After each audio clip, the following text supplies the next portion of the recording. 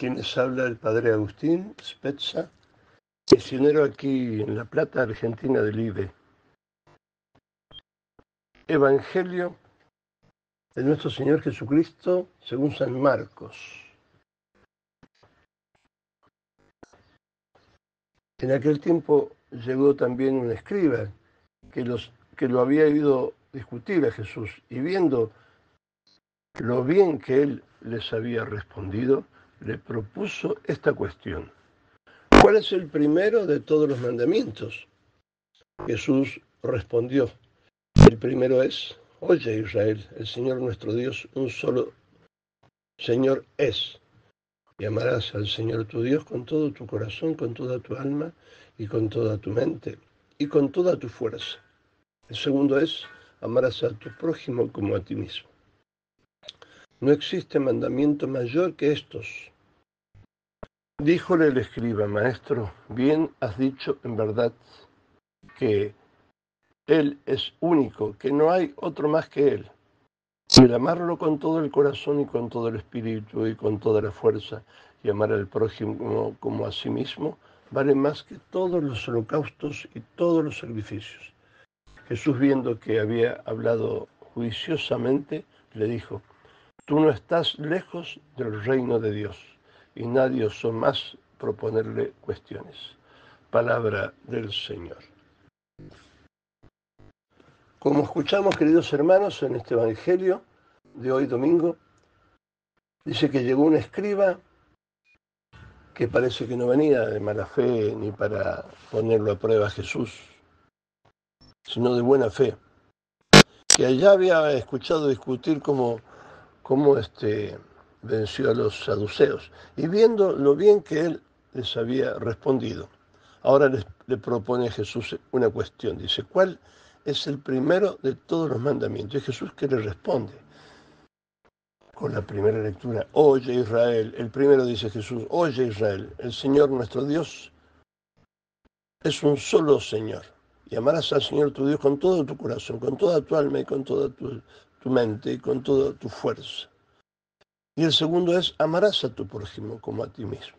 Es decir, no existe mandamiento mayor que estos, le contesta Jesús, le concluye Jesús. Y entonces le escriba que le contesta, maestro, bien has dicho, en verdad que él es único y que no hay otro más que él y el amarlo con todo el corazón y con todo el espíritu y con toda la fuerza y amar al prójimo como a sí mismo vale más que todos los holocaustos y todos los sacrificios. Y Jesús le responde, has hablado juiciosamente. Y le dijo, tú ya no estás lejos del reino de Dios. Y nadie más le hizo, le propuso más cuestiones. La respuesta de Jesús recoge las palabras del Antiguo Testamento que escuchamos en la primera lectura nada se inventa. Eh, él pone aquí el principal mandamiento, amar a Dios, como en los diez mandamientos.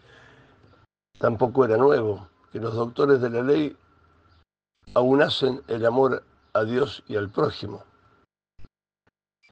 El amor a Dios y a los demás. Pero Jesús, al margen de la posible novedad, él, Jesús, hace una proclamación que se convierte en una de las fórmulas constituyentes del reino de Dios,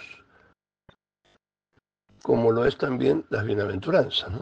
El creyente, el reino, el creyente del reino es aquel que vive con toda intensidad el tener a Dios como único absoluto y lo concreta en la vida de cada día en el amor a los demás, trabajando para que los demás puedan ser y tener lo mismo que yo soy y tengo. La novedad, esta es la antigua novedad de Jesús. En geometría se puede dar lo horizontal y lo vertical por separado, dice un autor, pero en la geometría cristiana, simbolizada por la cruz, las dimensiones horizontales y verticales de la existencia humana quedan siempre inseparablemente unidas. ¿Y por qué inseparablemente unidas? Porque no existe verdadero amor a Dios sin amor al prójimo. Y no existe amor del prójimo sin justicia. Tampoco podemos hablar sinceramente de justicia ni proveerla eficazmente si la justicia no es una realidad encarnada en nuestras vidas. Importante esto, ¿no? No existe verdadero amor de Dios sin amor al prójimo.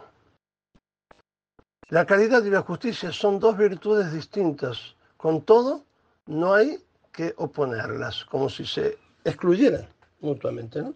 Ni tampoco hay que identificar sencillamente la caridad cristiana con alguna de sus manifestaciones, dice, dice un autor. Por ejemplo, con el dar limosna, que puede a veces ser una expresión necesaria, aunque quizá no la más importante, de nuestro amor al prójimo. Precisamente bajo el impulso de la caridad cristiana, de nuestro amor por los demás, queremos que estos sean respetados en su persona, en su dignidad y en sus derechos y libertades, que se les haga justicia.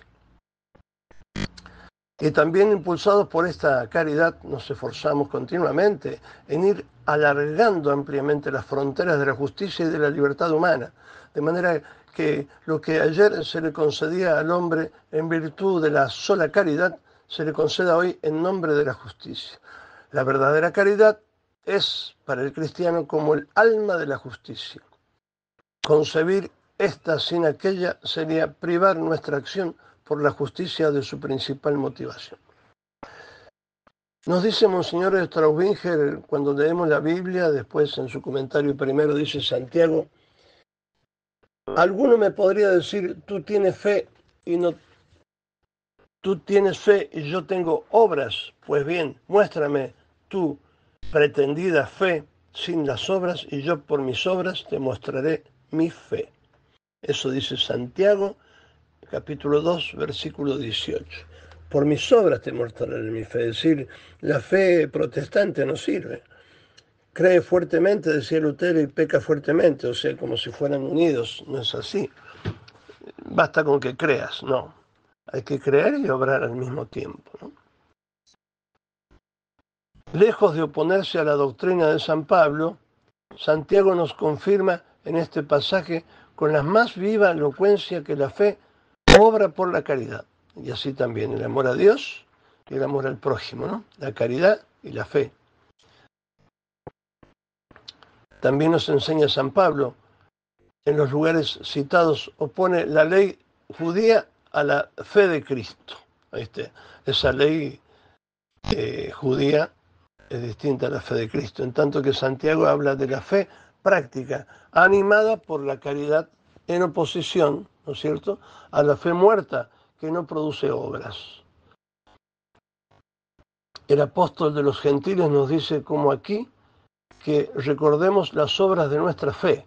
Y Santiago no nos habla del que tiene fe sin obras, sino del que dice que tiene fe pero no obra según la fe, no es coherente según la fe. Si, si tuviera fe, ella se manifestaría por el amor, ¿no es cierto? O sea, uno se engaña, ¿no es cierto?